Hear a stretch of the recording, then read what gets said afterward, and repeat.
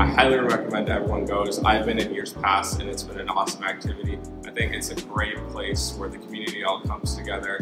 And as a student in it, I think I'm gaining a lot, but I also think the community gains a lot. My product is called the Modern Cane. The way it works is it's a standard walking cane, but it's outfitted with sensors that allow it to detect falls,